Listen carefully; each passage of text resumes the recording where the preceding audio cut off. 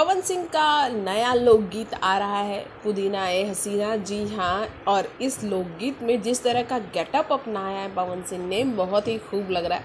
अब तक ऐसे गेटअप में आपने समर सिंह को ही देखा होगा, या फिर पूर्वी बैरिया में आपने रितेश पांडे को देखा होगा। पूर्वी बैरिया भी लोकगीत है और आजकल भोजपुरी इंडस्ट्री में लोकगीत का एक दौर चल चुका है। लोग जानते हैं कि लोकगीत अगर लोगों के बीच गया तो अश्लील जाएगा ही नहीं, क्योंकि लोकगीत में तो अश्लीलता होती ही नहीं है। वैसे भी आजकल भोजपुरी इंडस्ट्री कई जगहों से विवादों में घिर चुकी है, लेकिन पवन सिंह का ये गाना ये सारे विवादों पर एक ठंडी हवा के झोंके की तरह है।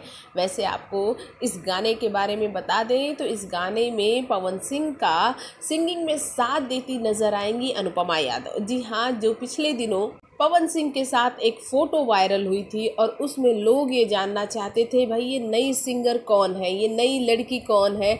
तो पता चला कि अनुपमा यादव है, जिनकी आवाज़ पवन सिंह को बहुत पसंद आई है। और तो और, जहाँ लोग अंतरा सिंह, प्रियंका और शिल्पी राज के साथ अपने गाने लेकर आ रहे हैं। जितने भी भोजपुरिया सिंगर हैं, लेकिन पवन सिंह इकलौते ऐसे स्टार हैं जो कि अंतरा सिंह, प्रियंका के साथ गाना जरा भी कंफर्टेबल नहीं समझते। वैसे पवन के फैंस भी चाहते हैं कि पावर स्टार जल्द ही अंतरा सिंह प्रियंका या फिर शिल्पी राज के साथ नज़र आए गाना गाते हुए। लेकिन शिल्पी के साथ हो सकता है पवन सिंह के फैंस की ख्वाहिश जल्द ही पूरी हो जाए, लेकिन अंतरा सिंह प्रियंका के मामले में ये होता दूर दूर तक नज़र नहीं आ रहा है। क्योंकि अंतरा सिंह प्रियंका के साथ तो पवन सिंह की कोई गाने की ख्वाहिश अभी दूर दूर तक नहीं है।